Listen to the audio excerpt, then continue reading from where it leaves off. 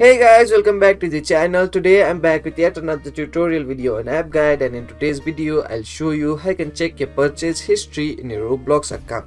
So you have a Roblox account that you use to play Roblox and, and now you want to check all the history of the purchases that you have made, all the trades that you have made but you can't figure out how you can do it Watch this video till the end. I'll show you some simple steps in order to check your purchase history in a Roblox account in very easy way. It's a very simple process. You just need to follow some simple steps in order to check your purchase history. So follow the steps I do and you'll do it in no time. So the first thing you want to do in order to check your purchase history in a Roblox account is open Roblox. Once you open Roblox, make sure you're logged into your account that you want to check your purchase history from.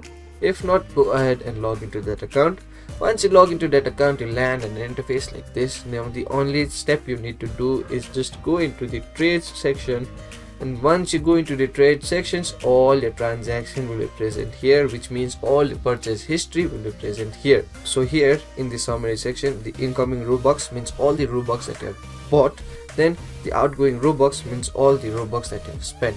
So this is how you check your history. Now this is only for the past 30 days. If we tap on this drop down menu you'll have the option for a past year or past seven days or past day.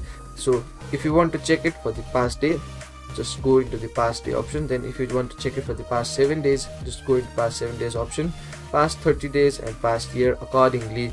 Select according to your preference what you need to do what you need to check what do you want to check. Then just simply go through all the details. You'll see all your purchase history right here. So those are the simple steps in order to check your purchase history in your roblox account in very easy way. So that will be it for today's video. Hope this video was helpful for you. If it was hit the like button subscribe to the channel and i'll see you in the next video with some new information.